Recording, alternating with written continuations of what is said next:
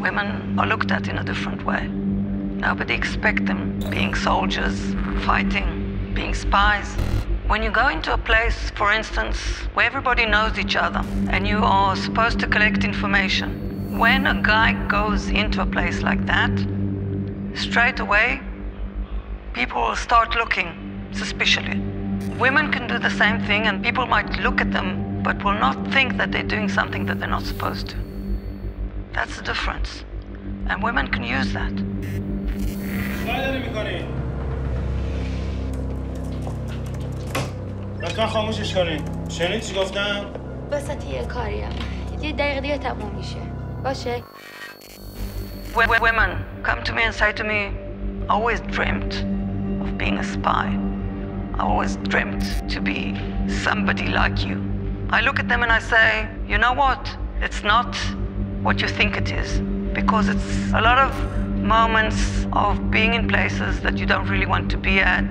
Like when you watch somebody day and night, you just sit and watch. It's not easy. It's not fabulous. It's not a fantasy. You can find yourself in weird place, doing weird things, and all you want is to go back home, to be with your kids. Women see things and remember details. One of the first jobs that I did, I was supposed to wait for a woman coming off a bus. I didn't know who she was, I never had a name. She was a very pretty girl. With her was a guy, much older than her. And you follow people at their back, so you see their backs mo- most of the time. And at one stage, the guy and the woman stopped underneath the lights of the, of the street. The guy took out a pipe, lit his pipe, and continued walking. And they went into where we thought they were going to, so we thought the job was finished.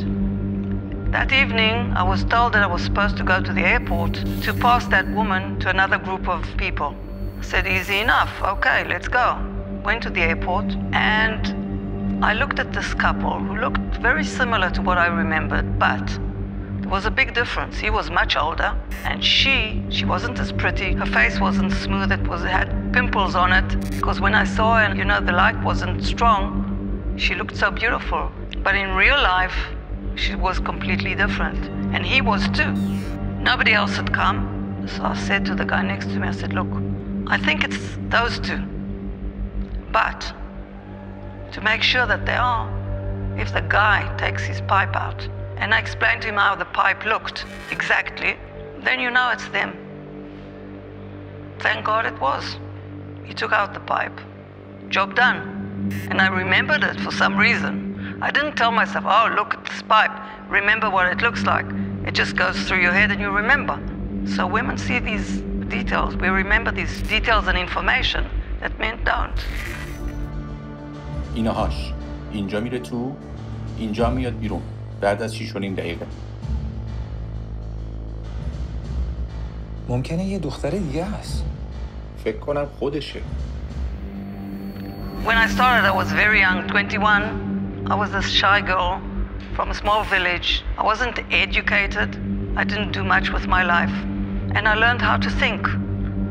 And I learned how to judge people. And I learned how to look at things. And to be broad minded.